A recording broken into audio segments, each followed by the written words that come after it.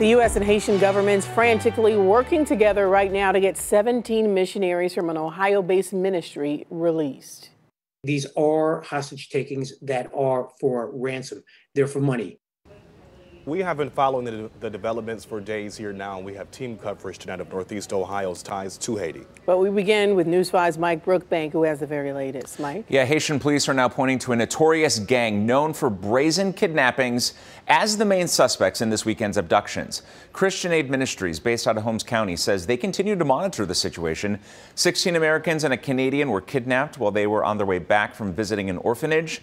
The Haitian government says the gang has not made a ransom demand so far. Uh, the president has been briefed and is receiving regular updates on what the State Department and the FBI are doing to bring these individuals home safely. According to the Center of Analysis and Research in Human Rights, during the first six months of this year, there were at least 395 kidnappings in Haiti, compared with 88 during the same time period last year. The recent surge in abductions and rising gang violence comes as that country recovers from the assassination of its president and an earthquake that killed thousands and left tens of thousands homeless. Meanwhile, Christian Aid Ministries, they're asking people to join them in prayer for the missionaries being held hostage. In the newsroom tonight, Mike Brookbank, News 5. All right, thanks so much, Mike. And Ohio leaders calling for the safe and immediate return of those hostages. Senator Sherrod Brown saying while his office is in contact with the State Department, they have little information just like the rest of us. We stand with our country and with these workers. I know a number of them come from Holmes County, uh, not too far from Wooster. And um, we, we pray for them, but, and equally importantly, uh, our government, the State Department, the Defense Department will stand with them and do whatever it takes to make sure they're safe. Congressman Dave Joyce says missionaries going to Haiti shouldn't have to fear for their lives. He also said we need to bring peace and order to that country. People across Northeast Ohio are keeping a close eye on this developing situation in Haiti. Some are natives of the Caribbean nation and others have traveled there themselves to offer help.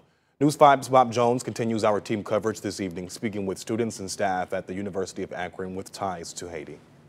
Bilo Isaac is studying electrical engineering at the University of Akron. He came to Akron from Haiti in 2019 and loves his native country for its beautiful landscape and people. The smile, you know, that you would find in uh, the Haitians, despite our, you know, the life that the economic hardship that we were uh, we were facing. Bilo is deeply worried by the kidnappings of 17 missionaries, including five children, by a Haitian gang.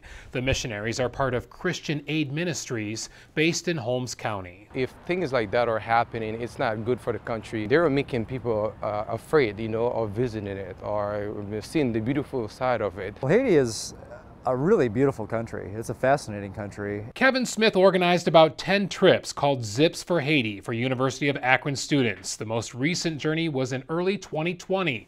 Smith says students are exposed to leadership and service-based projects to help the Haitians. So they'll climb a mountain and they'll go on a hike, they'll uh, spend time with kids, they'll do English second language tutoring, and they'll work in schools. Smith is concerned about the negative impact the kidnappings will have on Haiti, a country he says needs a lot of aid and goodwill. It does hurt our perception of Haiti and it makes it more threatening for us as uh, American citizens to be able to travel and have a relationship with, with people in that country. Smith stressed there are other compounding factors for Haiti's struggles. You have a presidential assassination, you have global pandemic, you have uh, a, a, complete lack of resources. The Zips for Haiti program is on pause. No trips there since 2020 because of the pandemic. But they hope to return there one day, and they hope for more stability in the country. We don't have any intentions of returning until we can deem it's a safe experience for our students. As for Bilo, he prays for the missionaries, his family living in Haiti, and peace for the country he loves. We are worried that, you know, it's gonna get worse, you know, we're not gonna improve,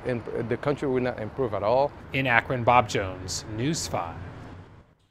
So we will, of course, continue to follow the very latest for the search for those kidnapped missionaries with the latest information from Haiti and here in Ohio, both on air and online.